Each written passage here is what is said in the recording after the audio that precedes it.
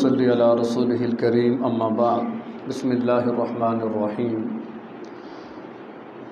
सूरह तौबा सूरह नंबर नौ ये सूरह मुबारक दो नामों से मशहूर है एक सूरह तौबा और दूसरा सूरह बरात सूरह तौबा इस लिहाज से है कि इसमें एक जगह अहले ईमान की तोबा और उसकी कबूलियत का बयान है और बरात इस लिहाज से कि इस सूरह के आगाज़ में मुशरकिन से बरज़िम्मा होने का ऐलान किया गया। इस सूरह मुबारक के आगाज़ में बिस्मिल्लाह नहीं लिखी गई। इसकी क्या वजह? तो इसके बारे में सही कौल यही है कि आप सल्लल्लाहु अलैहि वसल्लम ने इस सूरह मुबारक के आगाज़ में बिस्मिल्लाह नहीं लिखवाई थी। लिहाजा उसी की इत्तबा में हजरा सहाबा ने भी नहीं लिखी और अब तक वही सुन्नत चली आ रही है। ज़मान नज़ूल। इस सूरह मुबारक के तीन हिस्से हैं। पहला हिस्सा है इब्तदा से लेकर पाँचवें रुकू के अख्ताम तक। तो इसका ज़मान नज़ूल ज़िलक़ादा नौ हिजरी के लगभग बनता है। क्योंकि सन नौ हिजरी के अंदर आप सल्लल्लाहु अलैहि वसल्लम ने हज़रत अबू बकर सिद्दीक रज़ी अल्लाह तहों को हज का अमीर बनाकर रवाना किया। उनकी रवानगी के बाद फिर ये पहला हिस्सा नाजिल हुआ तो फिर आपने हज़रत अली रज़ी अल्लाह तहों को पीछे रवाना कर दिया कि ये कुछ हिदायत आई हैं। ये वहाँ चूँकि मशरकिन भी आए हुए थे हज के हवाले से तो वहाँ पर ये सारी तफसीलात उनको पढ़कर सुना दी जाएँ। दूसरा हिस्सा इसका है छठे रुकू से लेकर नौवें रुकू के अख्ताम तक। तो ये आयात रजब नौ हिजरी के करीब नाजिल हुई, जबकि आप सल्लल्लाहु अलैहि वसल्लम गज़वा तबूक की तैयारी फरमा रहे थे। और अहल ईमान को जिहाद में शिरकत पर उकसाया जा रहा था, जबकि मुनाफिकीन की मजम्मत बयान की जा रही थी। और तीसरा हिस्सा दसवें रुकू से लेकर सूर्य मुबारक के आखिर तक ये गजव तबूक से वापसी पर नाजिल हुआ है। ये था उसका ज़मान नजूल। आगे है इसकी मबास और इसके मजामी तो उस हवाले से मबास और मजामी का मतलब यही होता है कि ये सूर्य मुबारक इनके मजामी क्या हैं? किन अमूर पर बहस की गई? और ज़ाहिर है उन मबास का और मजामी का ताल्लुक़ उन हालात से होता है कि जो हालात दरपेश थे, जिन हालात में फिर आप सल्लल्लाहु अलैहि वसल्लम पर अल्लाह तबारक व ताली कुरान का नज़ुल फरमा रहे थे। तो उसका जो थोड़ा सा पस मंज़र वो ये समझ लें कि आप सल्लल्लाहु अलैहि वसल्लम से कबल जितने भी अम्बिया और रसुल आए, वो किसी ख़ास इलाके, किसी ख़ास कौम की तरफ़ मबूज़ फरमाए गए। लेकिन आप सल्लल्लाहु अलैहि वसल्लम की बेसत दो तरह की थी। या आप यूँ कह लें कि आप सल्लल्लाहु अलैहि वसल्लम की बेसत के दो पहलू हैं। एक पहलू तो ये कि आप सल्लल्लाहु अलैहि वसल्लम अरब के लिए और अपनी कौम के लिए नबी बनाकर भेजे गए तो इसे तो यानी बनी इस्माइल तो इस एतबार से आपकी बेसत खसूसी है ये। जबकि बेसत उमूमी के लिहाज से आप क़्यामत तक के लिए पूरी इंसानियत के नबी बनकर आए हैं। तो आपके नबूवत के ये दो पहलू हैं। एक खसूसी पहलू कि आप मशरकिन अरब की तरफ़ नबी बनाकर भेजे गए और उमूमी पहलू, क़्यामत तक आने वाले हर इंसान के लिए आप सल्लल्लाहु अलैहि वसल्लम नबी और रसूल बनाकर मबूस फरमाए गए जहाँ तक बेसत खसूसी का ताल्लुक़ है तो चूँकि वो मशरकिन अरब की तरफ़ थी और ये बात पीछे बारहा अर्ज़ की जा चुकी है कि आप सल्लल्लाहु अलैहि वसल्लम ने तेरह साल मक्की दौर में इतमाम हजत फरमा दिया था। उनको हक की दावत दे दी, दलाइल के साथ बात वाज कर दी, उनके एतराज़ात के जवाब भी दे दिए, गोया हक उनके सामने वाज हो गया। अब जब हक वाज हो जाए हजत ताम हो जाए तो फिर अल्लाह का कानून ये है कि या तो फिर मानो, नहीं मानोगे तो अल्लाह तबारक व ताली की तरफ़ से अजाब आता है। और ऐसे मौके पर अजाब इस्तीसाल आता है। इस्तीसाल का माना जड़ काट देने वाला अजाब। अब इसके पेश नज़र चाहिए तो ये था कि मशरकिन अरब का काम तमाम हो जाता, लेकिन आम रूटीन से हट के यहाँ अल्लाह तबारक व ताली ने आप यूँ समझ लें कि दो किस्तों में उन पर अजाब नाजिल फरमाया। उसकी जो पहली किस्त थी, वो थी बदर के मैदान में कि जहाँ सत्तर सरदारान कुरेश बड़े बड़े सूरमा उनके बहादुर जंगजू वो मारे गए और बहुत बुरी तरह उन्हें शिकस्त वहाँ पर हुई। तो ये थी एक पहली किस्त जो वहाँ पर उन पर अजाब की सूरत में नाजिल हुई थी और उसके बाद जो दूसरी उसकी किस्त थी वो नौ हिजरी में जहूर पजीर हुई। यानी फ़तेह मक्का आठ हिजरी में हो गया और नौ हिजरी में गोया कि फिर अरब की हद तक मक्का में कुफर का बिल्कुल सफाया कर दिया गया। तो बेसत खसूसी के अतबार से आप सल्ला वसल्लम ने जो आपकी ज़िम्मेदारी थी, उसको ख़त अरब की हद तक आपने पूरा, यानी मक्का की हद तक आपने पूरा फरमा दिया था। और एकामत दीन का जो अमली नक्शा था, वो आपने पेश फरमा दिया था। और इसका तस्करा यानी इन हालात का तस्करा ये सुर बकरा के पहले जो पाँच रुकू हैं, उनके सुर तोबा के, उसके अंदर किया गया। और बेसत उमूमी, यानी आप सल्लल्लाहु अलैहि वसल्लम की बेसत उमूमी पूरी इंसानियत की तरफ़ क़्यामत तक के लिए थी तो इस सिलसिले में आपने जो दावत का आगाज़ फरमाया, वो सुलह हुदैबिया के बाद, यानी सन छः हिजरी में सुलह हुदैबिया होती है, फिर उस सुलह की बुनियाद पर आपके लिए आसानियाँ हो गई, जंग बंदी हो गई और आपको दावत दीन का बेहतरीन मौका मिल गया। और दूसरी बात ये कि गोया के एक बहुत बड़ी कामयाबी अरब की हद तक आपको हासिल हो गई थी। वो कामयाबी क्या? कि जब मशरकिन अरब ने सलह हुदैबिया किया, यानी मुआदा किया, और ज़ाहरा एक फ़रीक दूसरे फ़रीक को तस्लीम करता है तो मुआदा करता है। तो यहाँ पर फिर गोया के मशरकिन अरब ने आप सल्लल्लाहु अलैहि वसल्लम और मुसलमानों की हैसियत को तस्लीम कर लिया। तब जाकर उनको फ़रीक माना और उनसे मुआदा किया। तो गया कि एक बहुत बड़ी ये कामयाबी की तरफ़ इशारा था। इसीलिए सुलह हुदैबिया को फ़तेह मुबीन का नाम कुरान में दिया गया। इन फ़तहना लका फ़तहम मुबीना। उसको फ़तेह मुबीन का नाम दिया गया। बार क्या? सुलह हुदैबिया के बाद फिर आपने अपनी दावत को अरब से बाहर भी भेजना शुरू किया। इस सिलसिले में सबसे पहले आपने खतूत लिखे। उसमें एक ख़त आपने रोम के कैसर की तरफ़ लिखा, ईरान के किसरा की तरफ़, मिस्र के बादशाह मकूकस की तरफ़ और शाह हबशा नजाशी की तरफ़। खतूत लिखे और उनको दीन की दावत दी कि तुम हमारे दीन को कबूल कर लो। इन खतूत के रद्द अमल के तौर पर फिर क्या हुआ? सल्तनत रोमा के साथ मुसलमानों के टकराव का आगाज़ हो गया।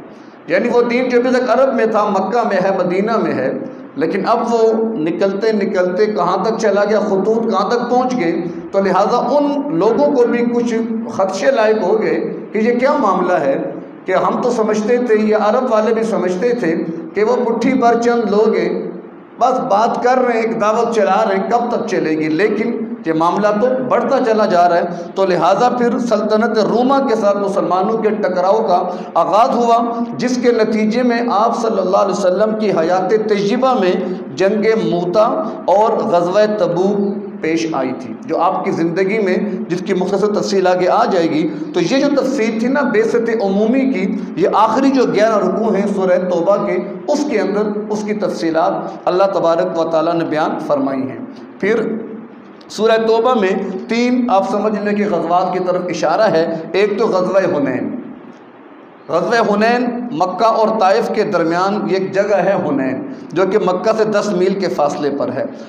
जब आठ हिजरी को मक्का फ़तह हो गया और मक्का पर मुसलमान तसल्लुत अपना कायम कर चुके तो उस वक़्त फिर मालिक बिन औफ जो कि बाद में मुसलमान तो हो गए थे, लेकिन उस वक़्त उसने कुर्ब जवार के कबाइल को जमा किया और कहा कि देखो मुसलमानों की पहले हालत क्या थी? फिर कैसे ये मदीना गए?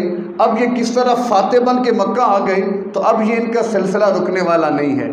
अब जो आगे बढ़ेंगे और इनका पहला निशाना वो हम होंगे, लिहाजा हमें चाहिए हम पहले ही उनके खिलाफ सफारा हो जाएँ और महाज कायम कर लें। इस पर उसने बड़े कबाइल को जमा किया और अच्छी खासी एक तादाद उन्होंने तैयार कर ली। तकरीबन रिवायात में चौबीस हज़ार के अल्फाज भी हैं। अट्ठाईस हज़ार के भी हैं, चार हज़ार के भी हैं। अब इतना तफावत क्यों?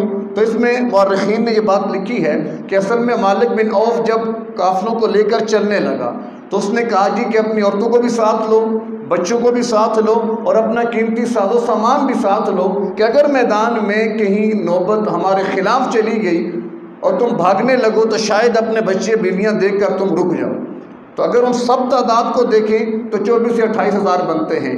और अगर फ़कत जंगजू जो थे उनको देखा जाए तो मुमकिन है कि वो सिर्फ़ चार हज़ार के लगभग हों। तो बार ये मुख्तलिफ़ तादाद इस पर मिलती है, जबकि मुकाबले में मुसलमानों की तादाद तकरीबन बारह से चौदह हज़ार थी। इतनी बड़ी तादाद इससे पहले किसी भी जंग के अंदर मुसलमानों की नहीं थी, लिहाजा बाद सहाबा के दिल में बात आई, जब हम तीन सौ तेरह थे, हम गालिब रहे, हम सात सौ थे, हम गालिब रहे, आज तो हम बारह चौदह हज़ार हैं। यानी नज़र कसरत पे चली गई तो फिर क्या हुआ? जंग के आगाज़ में पांसा पलट गया और हवाजन, जो बड़ा मशहूर कबीला तीरंदाजी के अंदर घात लगाकर मुसलमानों को नरगे में लेके ऐसी तीरंदाजी की कि हड़बूम मच गई और इतना गर्द गुबार उठी कि सहाबा आगे पीछे हो गए। लेकिन उस दौरान भी आप सल्लल्लाहु अलैहि वसल्लम थे जो आगे बढ़ते चले जा रहे थे। हालाँकि बड़ी अजीब कैफियत बन गई, चारों तरफ़ से गोया, मौत मंडलाने लगी हजरा साहबा के पाँव भी उखड़ने लगे, लेकिन आप इस्तकामत का पहाड़ बन के चलते रहे और आगे बढ़ते रहे। चंद सौ सहाबा आपके साथ थे। साहबा ये चाहते थे, आप आगे ना बढ़ें, लेकिन आपने फरमाया कि नहीं, हमने आगे बढ़ना है। तो फिर हज़रत अब्बास से हुजूर ने फरमाया कि आवाज़ लगाओ कि कहाँ हैं जिन्होंने दरख्त के नीचे हमसे मौत पर बैत की। कहाँ हैं वो अनसार कि जिन्होंने मौत तक हमारे साथ चलने की बैत की थी? फ़लाँ फ़लाँ कहाँ हैं? हज़रत अब्बास ने ज़ोरदार आवाज़ में जब ये पुकारा तो जहाँ तक आवाज़ पहुँची, लोगों ने सुनी, वापस पलट आए और दोबारा जमा हो गई। अल्लाह ने फरिश्ते भी भेज दिए तो फिर अल्लाह ने मुसलमानों को उसमें बहुत बड़ी फतह अता फरमाई कि माल गनीमत में छः हज़ार कैदी चौबीस हज़ार ऊँट, चालीस हज़ार बकरियाँ, चार हज़ार ओकिया चांदी। बहुत बड़ा माल गनीमत आप लेकर वापस लौटे। एक शैबा बिन उस्मान, अभी मुसलमान नहीं थे, वो भी इनके साथ चल पड़े थे। और ये क्यों गए थे? इनके चचा और वालिद बद्र में मारे गए थे। तो ये कहते मैं हुजूर से बदला लूँगा। लिहाजा वो आपके इर्द गिर्द मंडलाता रहा कि मौका मिले और मैं अपना वार करूँ। इतने में हुजूर की नज़र पड़ गई। आपने कहा, शैबा मेरे पास आओ फ़ौरन। जब शहबा कहते हैं पास आया तो आपने मेरे दिल पे हाथ रखा और फरमाया कि अल्लाह, इससे शैतान को दूर कर दे। कहते हैं, जब मेरी आँख बंद करके मैंने खोली तो मुझे सबसे ज़्यादा कायनात में महबूब हुजूर की ज़ात लगने लगी। और फिर मैं उनका दीवाना बन गया और फिर मैं तलवार लेकर दुश्मनों के सफ़ों में घुस गया।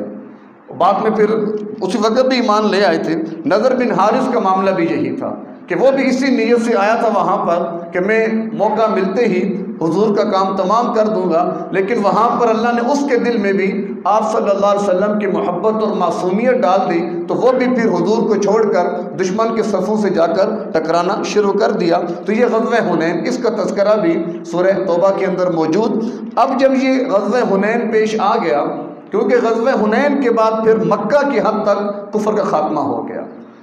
लेकिन उसके बाद जो आपने वफूद भेजे थे, खतूत भेजे थे उसमें एक वफद सल्तनत रूमा की तरफ़ भी निकला था पंद्रह अफराद पर मुश्तमिल। तो वहाँ पर जो ईसाई कबाइल आबाद थे, उन्होंने इन पंद्रह के पंद्रह कासदीन को शहीद कर दिया। इसी तरह आप सल्ला वसल्लम ने बसरा का रईस था शरहबील बिन अमर। उसके पास भी अपना सफ़ीर हारिस बिन उमैर रजीला को भेजा। तो शरहबील ने हारिस बिन उमैर को शहीद कर दिया। जब ये इतलात हजूर को पहुँची तो आपने तीन हज़ार सहाबा की जमात तैयार की और शाम की तरफ़ रवाना कर दी। अब ये तीन हज़ार सहाबा शाम की तरफ़ रवाना हुए। आगे जब मूता के मकाम पर पहुँचे तो पता चला कि शरहबील एक लाख फौज लेकर सामने आ अब बड़ी हैरत वाली सूरत हाल बन गई। लेकिन कुर्बान जी हजरा सहाबा की अजमत पर और उनकी इस्तकामत पर कि कहाँ तीन हज़ार, कहाँ एक लाख। तो उन्होंने फैसला किया हमें टकराना है। हमें अल्लाह के नबी का हुक्म, हम पीछे नहीं हटेंगे। और फिर टकरा गए और फिर दुनिया ने नज़ारा देखा कि किस तरीके से वो कुफार मैदान को छोड़कर वहाँ से भागते हुए नज़र आए। तो ये जंग मूता का बड़ा बेहतरीन और बड़ा अजीब मार्का हुआ था। तो बारकफ, इसमें भी अल्लाह तबारक व ताली ने अहल ईमान को फ़तह नसीब फरमाई। आजमाइश होती है, आगाज़ में मुश्किल आती है, क्योंकि अल्लाह का एक कानून फितरत कह लें अल्लाह की सुन्नत कह लें कि अहसीबन्नास यकूल आमन्ना वहम लाजुफ्तनून के दावा ईमान के साथ आजमाइश शर्त है। आजमाइश की भट्टी से गुजार कर जब आप पास होते हैं, फिर अल्लाह की तरफ़ से आपके लिए इनामात के फैसले होते हैं। तो बरकफ, ये जंग मुद्दा का मामला, ये हुनैन के बाद पेश आया तो ये भी इस वाक़े में भी शाम और रोम की तरफ़ अपनी बड़ी दाक बिठा दी। जब ये खबर कैसर रोम को पहुँची तो उसने कहा, यार, ये तो बड़ा अजीब मामला है, मुसलमान तो हमारे दरवाजे तक पहुँच गए। उसने भी लश्कर तैयार करने शुरू कर दिए। इधर हजूर को इतला मिली कि कैसर रूम ने जंग की तैयारी शुरू की है बड़े पैमाने पर। तो फिर आप अलैहि वसल्लम ने भी हजरा साहबा को बुलाया और उनके सामने ये बात रखी कि अब तो मार्का एक और भी गर्म होने वाला है। और तबूक की तरफ़ फिर आपने रख्त सफ़र बांधा और ये सख्त गर्मी का मौसम, सख्त गर्मी। और इसबाब बिल्कुल ना होने के बराबर। और मौसम ऐसा कि फल पके हुए थे कि जिन पर मदीना वालों की पूरे साल का गोया के इसार होता था। यानी कोई भी ऐसा ज़ाहरी सबब नहीं था, कोई वजह नहीं थी कि वो जा सकते। लेकिन अल्लाह के नबी सल्लल्लाहु अलैहि वसल्लम ने फरमाया कि हमने मुकाबला करना है।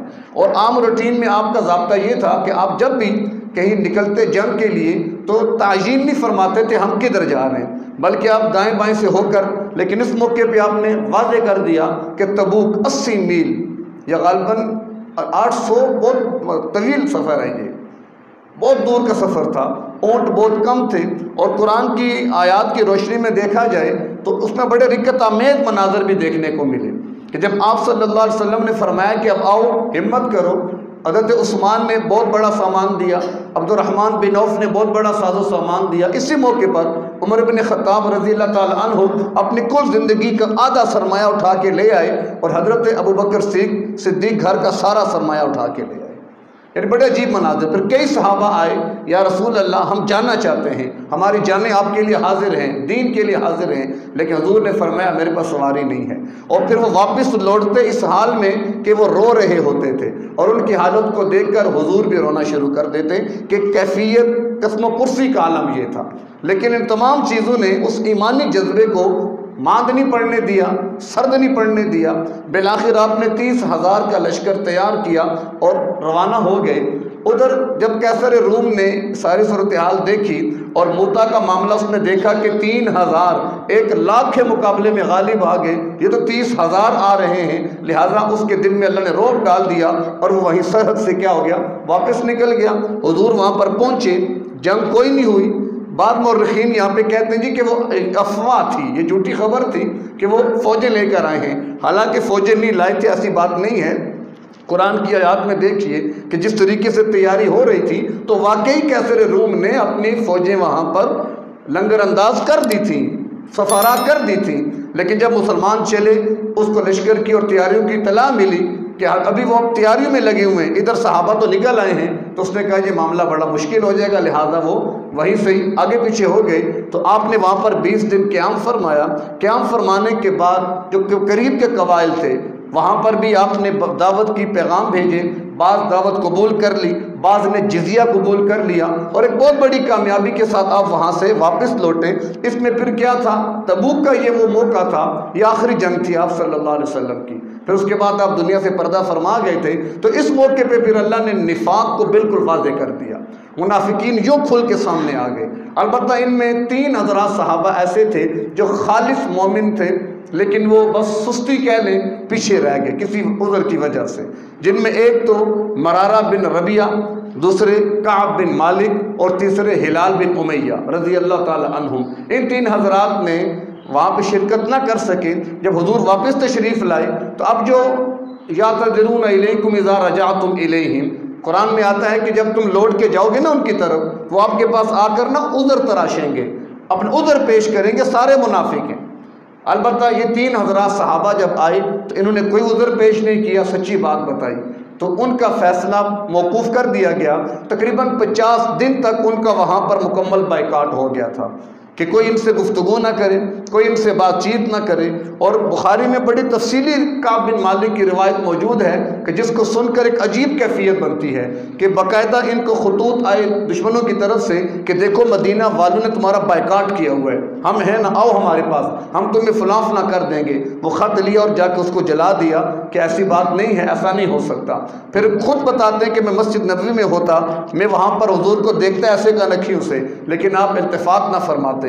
मैं कई दफ़ा कोशिश करता आपकी तरफ़ आने की, लेकिन आप एराज फरमा जाते। जिस सहाबी के पास जाता, जिससे मिलना चाहता, सब मुझसे बात करने को तैयार ना होते। हती कि हुक्म यहाँ तक आ गया कि मेरी बीवी को भी मुझसे अलग कर दिया गया। यानी बड़े अजीब वो मरहले तो पचास दिन के बाद जाके फिर अल्लाह तबारक व ताली ने तोबा नाजिल फरमाई और फिर अल्लाह तबारक व की तरफ़ से ऐलान हो गया। फिर जिस सहाबी एक आए, आकर इन्हें बिशारत दी कि अल्लाह ने तुम्हारी तोबा कबूल फरमा लिया पचास दिन के बाद। वालसलासतलदीन खुलफ़ु के लक़ताबल्लाबी जी वल वलमहाजरीन महाजरीन खुलफ़ु अवकम अल्लाह, कि अल्लाह तबा, अब यहाँ पर उसलूब कुरान का देखें, कि अल्लाह तबारक वाली ज़रा सहाबा से कितना ताल्लुक़ और मोहब्बत रखते हैं। इसी सुरह तोबा की आयत वसाबिकून मिनल महाजरीन अवल अंसार वल्लजीन बे एहसान ये आयत मुबारक ज़रा सहाबा की अजमत और शान पर और उनके मैार हक होने पर बहुत बड़ी दलील है। वसाबिकून अव्वलिन यानी सबकिन अव्वलिन सहाबा। वल महाजरीन वल अनसार महाजिर, अंसार सहाबा वो, वल्लजीन तबाउहुम बेहसान और उनके बाद वाले जो नेकी में उनकी इतबा करेंगे रज़ी अल्लाह अनहुम व रज़ू अनहु। तो अल्लाह जैसे हजरात सहाबा से राज़ी हुआ तो गया क़्यामत तक आने वाला हर वो फ़र्द जो हजरात सहाबा के नक्श कदम पे चलेगा, उनकी इतबा और पैरवी करेगा, अल्लाह उसको वहीं पहुँचाएगा जहाँ सहाबा पहुँचेंगे तो ये हजरात सहाबा की अजमत पर और उनके दीन और शरीयत में मैार होने पर बहुत बड़ी दलील है। और इसी तरह यहाँ पर भी लकताबी जी, हालाँकि तोबा का मामला उन सहाबा का था। गलती उन सहाबा से हुई थी, लेकिन अंदाज कलाम अल्लाह तबारक व ताली का देखिए कि पहले तोबा की बात की अपने नबी से शुरू की। ये क्या था? ये उन सहाबा की, आप समझ लें दादरसी थी कि उनको वो ये ना समझें कि हमें अलग करके सबसे हम पर किताब नाजिल किया गया, बल्कि अल्लाह ने मजमू खिताब कर दिया। मजमू खिताब जिसमें सारे भी शामिल और वो तीन सहाबा भी शामिल, जिससे उनकी इज़्ज़त नफ्स भी कायम रही और अल्लाह तबारक व का सहाबा से ताल्लुक़ जो था, वो भी बड़ा खुल के सामने आ गया। तो ये कुछ वाक़ात थे, उस दौर के हालात थे। कुछ आयात जाते हुए, कुछ आयात वहाँ पर, कुछ आयात वापसी पर। और इन सारी चीज़ों का खुलासा और मकसद ये था कि अब आपका मिशन मुकम्मल हो गया। यानी बेसत खसूसी जो आपकी अहल अरब की तरफ़ थी और बनु इस्माइल की तरफ़ थी, उस हद तक तो आपने अपने मिशन को मुकम्मल कर दिया। अलबत् जो बेसत उमूमी थी क्यामत तक के लिए तो उसके लिए फिर आपने हजतुलविदा के मौके पर मुझे और आपको ज़िम्मेदार बना दिया। अल्लाह के नबी ने फलजबल मिन को मुशाहिदुलगाबा कि देखो जो गायबीन है, क्यामत तक के लिए आएँगे, मैं तो जाने वाला हूँ। मेरा वक़्त तो करीब है, मेरा काम पूरा हो चुका है, लेकिन चूँकि अभी काम तो बाकी था, नूर तोहीद का इतमाम अभी बाकी है। वो बाकी था अभी। तो आप सल्लल्लाहु अलैहि वसल्लम ने ये बड़ी खसूसियत है इस उम्मत की। यानी ये वो कार नबुवत या मिशन नबुवत कि जिसको आपसे पहले अम्बिया अदा करते रहे, अब वो मिशन अल्लाह ने मुझे और आपको दे दिया। और उसमें अव्वलीन जो उसको हामलीन थे, वो सहाबा थे कि जिन्होंने फिर तकरीबन साठ साल के अरसे में अगर आप उसमें से भी दस साल मदनी दौर के निकाल दें तो फ़कत पचास साल के अरसे में आधी से ज़्यादा दुनिया तक दीन पहुँचा दिया था। जो काम उनके ज़िम्मे लगा तो ज़रा सहाबा ने पचास साल के अंदर उसके बाद आधी दुनिया तक इस्लाम पहुँचा दिया था। फिर उसके बाद कमियाँ, कोताहियाँ, और फिर ये हमारा आज का दौर आपके सामने है कि हम अल्लाह के दीन के लिए क्या कर रहे हैं। हम कितनी मेहनत कर रहे हैं, कितनी मुशक्क़त कर रहे हैं। अल्लाह के दीन दुनिया पे गालिब हो, मेरा कितना हिस्सा पड़ रहा है उसके अंदर। शायर इस्लाम का तहफ़ आप देख लें आजकल सोशल मीडिया पर मतलब फजलरहमान साहब के हवाले से, मेरा किसी सियासी जमात से कोई ताल्लुक नहीं है। लेकिन जब पोस्टें में देखता हूँ पगड़ी और दाढ़ी के साथ, और नीचे जब कमेंट पढ़ता हूँ, और फिर जो पोस्टें बनी हुई हैं, उसमें इतना बड़ा मज़ाक है दाढ़ी और पगड़ी का कि अल्लाह की पनाह। इख्तलाफ राय होता है, होना चाहिए, इसमें कोई इश्काल नहीं है। लेकिन इस हद तक गिर जाना, इस हद तक इस हुकूमत में ये चीज़ बहुत आम हुई है। इख्तलाफात पहले भी होते थे, लेकिन जितनी बदजुबानी बद कलामी इस दौरे हुकूमत के अंदर आपस में देखने में आई है ना, इससे पहले कभी ऐसा नहीं हुआ था। तो ये शायर इस्लाम का मज़ाक कम अज़ कम नहीं उड़ाना चाहिए। बाकी इख्तलाफ आप करें, मुझसे आपको सौ इख्तलाफ होंगे, मुझे आपसे सौ इख्तलाफ होंगे, इख्तलाफ तो रहते हैं। लेकिन दलील की बुनियाद पर हो तो इख्तलाफ होता है, और अगर वो ज़ातियात की बुनियाद पर हो, फिर उसको मुखालफत कहते हैं। इख्तलाफ और मुखालफत में बड़ा फ़र्क है। तो अब आजकल इख्तलाफ नहीं हो रहा, मुखालफत हो रही है। तो बार क्या बात दूर निकल जाएगी तो उमूमी जो आपकी बेसत का मकसद था कि रहू कुल कुल्ली कि दीन हक को तमाम अदयान बातला पे गालिब करना, वो अभी बाकी है। खुशनसीब है वो लोग जो इस्तेमाल हो रहे हैं। हैं जिन्होंने अपना घर बार छोड़ा है इस वक्त। कई हैं जो कैदोबंद की सौतें बर्दाश्त कर रहे हैं। कई हैं जो जंजीरों में जकड़े हुए हैं। कई हैं जो अपने घरों से अस्ते दराज से दूर हैं। लेकिन वो क्या है? दीन की शमा रोशन किए हुए हैं। अल्लाह के नबी फरमा गए थे कि क़्यामत तक एक जमात हक पर कायम रहकर दुश्मन के खिलाफ लड़ती रहेगी हती कि अल्लाह का अमर आ जाए। तो लिहाजा कोई भी दौर ऐसा नहीं गुजरा कि जिसमें कोई ना कोई अल्लाह वालों की जमात, मुजाहिदीन की जमात, दुश्मन के सामने खड़ी होकर अल्लाह के दीन की सरबुलंदी के लिए मेहनत न कर रही हो। बिलाखिर वो कब अंजाम कार पहुँचेगी जब हज़रत महदी आकर उसकी कमान संभालेंगे?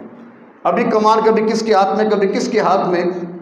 फितने का दौर अफरा तफरी का दौर सच झूठ मिक्स हो चुका। कोई पता नहीं चलता हक की तरह बातें, लेकिन जिसको जो समझ आए वो अपनी कोशिश कर रहा है। अलबत् हज़रत महदी जब तशरीफ़ ले आएँगे, वो कमान संभाल लेंगे। कैसे कमान संभालेंगे?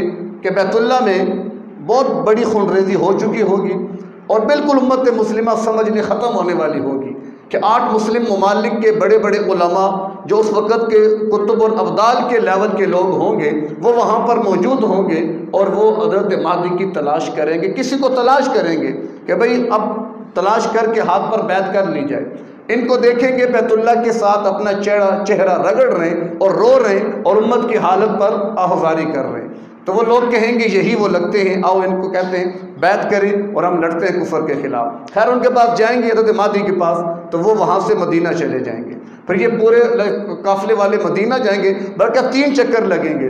बिलाखिर उनमें से एक आदमी कहेगा, हज़रत मादी से, उनको पता नहीं होगा कि मादी में हूँ, कि जिससे अल्लाह इतना बड़ा काम लेगा। उनको पता नहीं होगा, हदीस में आता है। जब बैत करेंगे तो अल्लाह उन पर ये हालात खोलेगा कि अल्लाह से कितना बड़ा काम लेने वाला है। तो वे कालिम उनसे कहेंगे कि आप ना माने हमारी बात लेकिन इसके बाद किसी एक मुसलमान का भी खून बहेगा तो वो आपकी गर्दन पे होगा। उसकी ज़िम्मेदारी आपके सर पे होगी।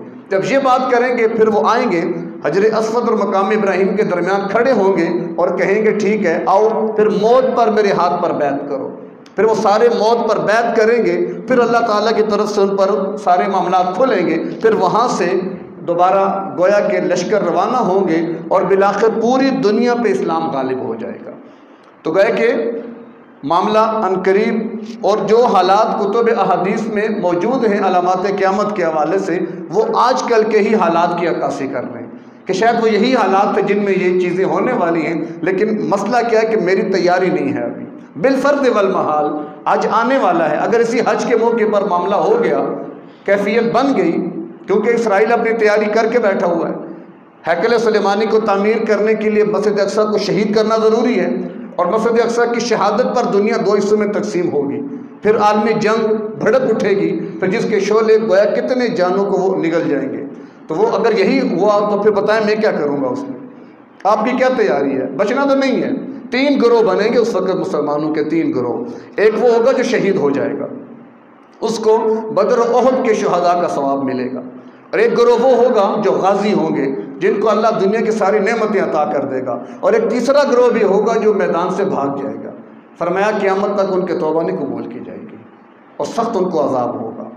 तब हम किस ग्रोह में जाएँ? ये फैसला हमने करना है। उसकी बुनियाद क्या होगी? वो कुरान है।